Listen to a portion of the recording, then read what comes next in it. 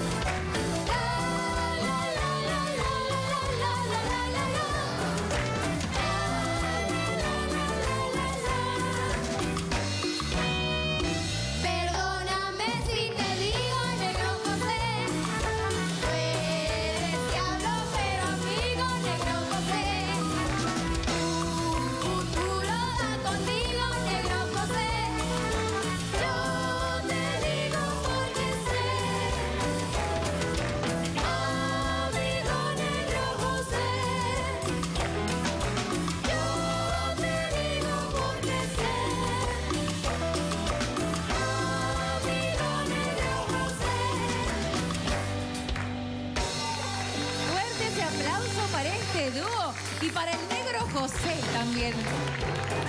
Y es que esta canción te gusta, ¿verdad? Muchísimo. ¿Recuerdas cuando hicimos la gala de las canciones con nombre y sin nombre? Tú indicaste que esta era la canción que te gustaba. la verdad que sí, es una canción que me gusta, me, me identifica demasiado, ¿no? Por, por el estilo de baile, aparte porque es una, cumbia colombiana, yo eh, amo Colombia, y no solamente eso, sino con este calor, la verdad que se nota, ¿no? Ya que estás quedando con el ya estoy color, ya. negrito, ya, ya va yendo, falta un poquito los hombros y el cuello, y ya quedó negro, negro como el negro José. ¿Qué te pareció el regalo que te hicieron estas dos princesas? Muy bonito, solo que en la parte donde dice diablo pero amigo, ¿verdad? ¿Qué le parece si le cambiamos? ¿A qué? a guapo pero amigo. Ah, ¿Y por qué se ríe? ¿Le parece? ¿La cantamos el corito un poquito? ¿Se puede? A ver, el corito. Dos, tres.